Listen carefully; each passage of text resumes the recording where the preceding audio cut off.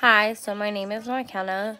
My main thing of talking about is recovery. I'm coming up on six years clean in May. Um, that's pretty much what my channel will be about and what